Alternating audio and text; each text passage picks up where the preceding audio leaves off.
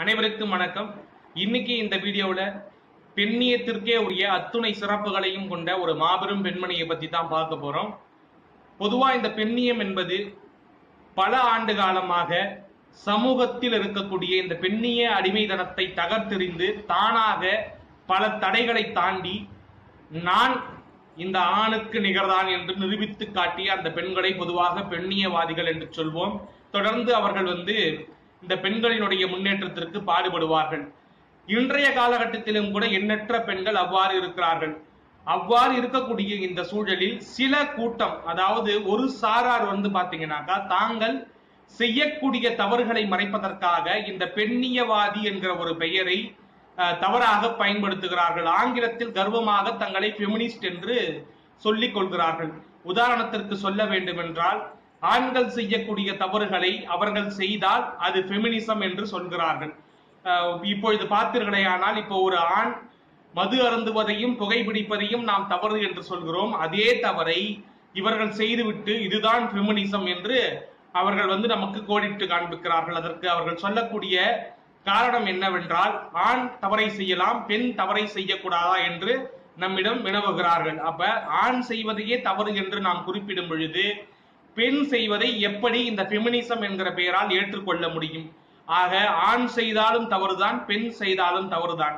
ஆனால் இந்த ஒரு காணொளியில் நாம் பார்க்க போகிற பெண் உண்மையில் அதாவது பாத்தீங்கன்னாக்கா இப்போ ஒரு பெண்ணியவாதி இந்த சமூகத்தில் இருப்பது அவ்வளவு பெரிய ஆச்சரியம் கிடையாது. ஆனால் சுதந்திரம் பெறுவதற்கு முன்பாகவே இப்படிப்பட்ட ஒரு ஃபெமினிஸ்ட் இருந்திருக்காங்க அப்படின்னு நினைக்கும் பொழுது எனக்கு பெருமையா இருக்கு. அவங்க தான் கமலாதேவி சட்டோபாத்தியா. நம்ம எல்லாருக்குமே தெரியும் காந்தி வந்து உப்பு சத்தியாகிரக போராட்டம் நடத்தது ஆனா வந்து இது எல்லாத்துக்கும் முன்னாடியே வந்து ஆங்கிலேயரை எதிர்த்து நாங்க உப்புக்கு வரி செலுத்த முடியாது. உப்பு எங்களுடைய நாட்டில் இருக்கிறது கடலில் இருக்கிறது நாங்கள் காய்ச்சி எடுத்துக்கொள்வோம். அதற்கு நாங்கள் எதற்கு வரி செலுத்த வேண்டும் என்று ஆங்கிலேயரை முதல் முதலில் எதிர்த்த பெண்மணி அதாவது காந்திக்கு முன்பாகவே எதிர்த்த பெண்மணி யாருன்னு கேட்டீங்கன்னாக்கா இந்த கமலாதேவி சட்டோபாத்யா. இவங்க வந்து ஒரு வழக்கறிஞர். ஒரு நீதிமன்றத்துல வந்து வழக்கறிஞராக இருந்தாங்க. அப்போ வந்து அந்த நீதிமன்றத்துக்கு வெளியில இந்த ஆங்கிலேயர்கள் நடத்துனாங்க இல்லையா? அந்த ஆட்சியில அப்போ வந்து நிறைய தடை சட்டங்கள் இருந்தது. அதாவது யாரும் உப்பை விற்க கூடாது ஆங்கிலேயர் கொடுக்கிற அந்த உப்பை தான் வந்து வரி கட்டி வாங்கணும் அப்படிங்கிற நிறைய சட்ட விதிகள்லாம் இருந்த பொழுதும் கூட அதையெல்லாம் எதிர்த்து இவங்க என்ன பண்ணாங்கன்னு பாத்தீங்கன்னாக்கா நீதிமன்ற வளாகத்திலேயே எல்லோரிடமும் உப்பை காய்ச்சி வித்தார்கள். அப்படிப்பட்ட ஒரு துணிச்சலான தைரியம் மிக்க ஒரு பெண்ணியவாதி தான் இந்த கமலாதேவி செட்டோபாத்யா உடனடியாக வந்து அந்த ஆங்கிலேயர்கள் ஆட்சியால் வந்து பாத்தீங்கன்னாக்கா இவங்க மேல வழக்கு போடப்பட்டது. வழக்கு நீதிமன்றத்துக்கு வந்தது. நீதிபரசர் வந்து விசாரணை நடத்தினார். அப்ப அந்த நீதியரசர் கிட்ட வந்து இவங்க என்ன சொல்லியிருப்பாங்க? மன்னிப்பு கேட்டிருப்பாங்கன்னு நினைக்கிறீங்களா? நிச்சயமா கிடையாது. அதை தாண்டி இவங்க என்ன செய்தாங்க தெரியுமா? அங்க நீதியரசரா இருந்த அந்த நபரும் கூட ஒரு இந்தியர் என்பதால் நீங்களே நம் அங்கு அமர்ந்து கொண்டிருக்கிறீர்கள். என்னோடு இந்த போராட்டத்தில் கலந்து கொள்ளுங்கள் என்று சொல்லி ஒரு பாக்கெட் உப்பை எடுத்துக்கொண்டு நீதியரசரிடம் கையில் நீட்டினார். இப்படிப்பட்ட துணிச்சல் மிக்க பெண்ணியவாதிகள் எல்லாம் இந்தியாவில் இருந்திருக்கிறார்கள் என்பதே நமக்கு உள்ளபடியே மிகப்பெரிய கர்வம். இவர்கள் தான் பெண்ணியத்திற்கான மிகப்பெரிய அடையாளம். இதை தாண்டி வந்து பாத்தீங்கன்னாக்கா அவங்க நிறைய கடமைகள் செஞ்சிருக்காங்க. இந்தியாவுக்காக நிறைய வந்து பங்காற்றிருக்காங்க. குறிப்பா சொல்லணும்னாக்கா இன்னொரு விடயம் வந்து உலகத்திலேயே மிகப்பெரிய இடப்பெயர்ச்சி என்னன்னு கேட்டீங்கன்னாக்கா கடந்த இரண்டு மூன்று நூற்றாண்டுகள்ல என்னை பொறுத்த வரைக்கும் இந்திய பாகிஸ்தான் இடப்பெயர்ச்சி தான். அதாவது இந்தியாவும் பாகிஸ்தானும் இரு நாடுகளாக பிரிந்த பிறகு சுதந்திரம் பெற்ற பிறகு பாத்தீங்கன்னாக்கா நிறைய மக்கள் வந்து இந்தியாவில இருந்து பாகிஸ்தானுக்கு போனாங்க. பாகிஸ்தான்ல இருந்து மத ரீதியாக இந்தியாவுக்கு வந்தாங்க. அதாவது இந்துக்களும் சீக்கியர்களும் இந்தியாவிற்கு படையெடுத்தனர்.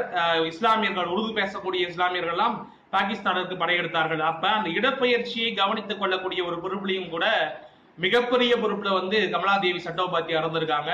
ஆக இப்படிப்பட்ட மிகப்பெரிய பெண்ணியவாதிகளை எல்லாம் கொண்ட ஒரு நாடுதான் இந்தியா. இப்படிப்பட்ட ஒரு சூழல்ல இந்த ஃபெமினிசம் அப்படிங்கிற போர்வையில ஃபெமினிஸ்ட் என்று தங்களை தாங்களே அடையாளப்படுத்தி கொண்டு மிக இழிவான செயல்களை செய்து கொண்டிருக்கக்கூடிய அந்த பெண்கள் வந்து உண்மையிலே உண்மையான பெண்ணியவாதிகளினுடைய கதையை தேடி கண்டுபிடித்து படித்து அவர்களுடைய வரலாற்றை புரிந்து கொண்டு இந்த சமூகத்தில் நீங்களும் வீறுநடை போட வேண்டும்.